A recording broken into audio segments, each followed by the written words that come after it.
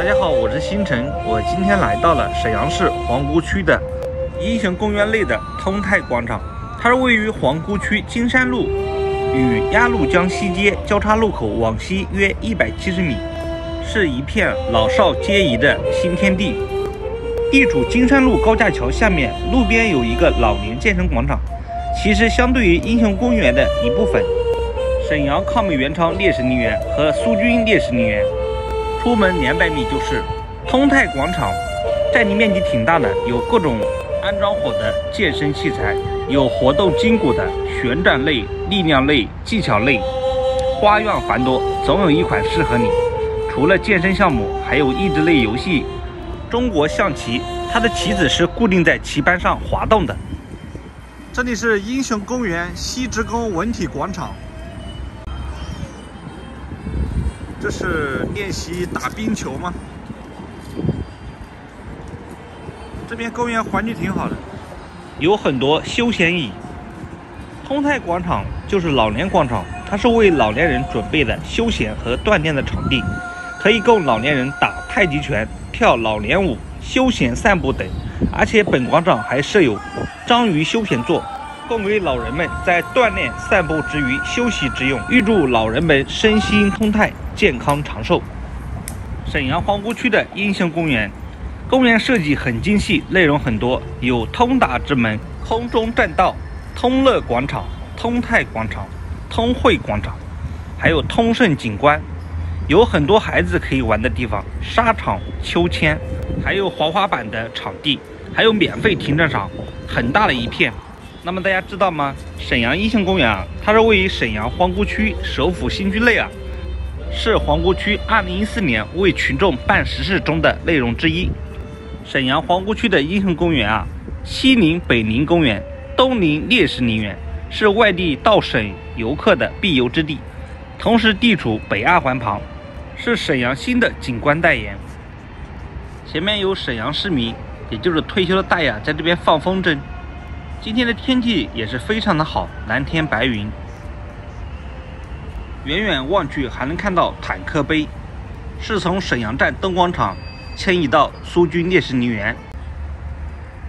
放风筝我也会，小时候在老家玩过。这是英雄公园的通泰广场的介绍。沈阳皇姑区的英雄公园啊，它是沿北二环。北侧啊，沿街而建的一座免费的带状市民休闲公园，挺大的。东起金山南路，与鸭绿江北街南口交界处啊，入口最显眼的建筑是一座钢结构的立体中国结，造型精巧。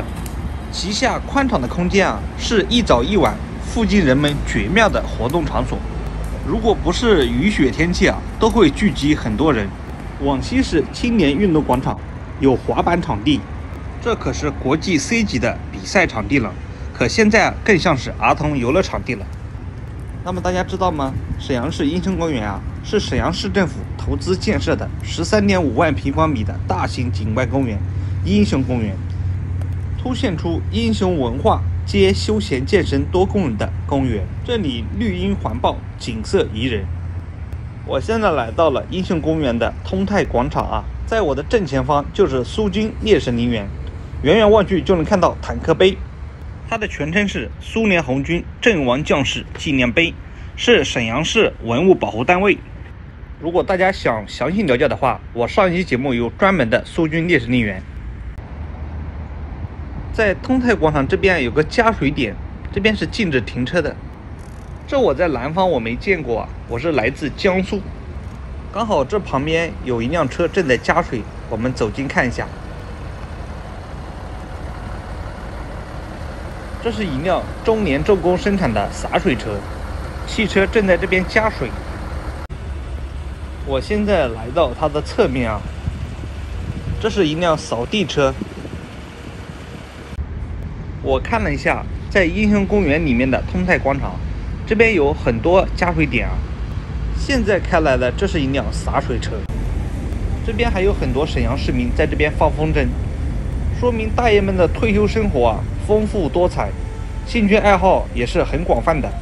我刚刚转了一圈，有锻炼身体的，也有市民在这边踢毽子，四个人在一起，还有大爷在这边学滑轮，还有大爷大妈坐在一起练习唱歌，也有大爷带孙子来公园这边玩。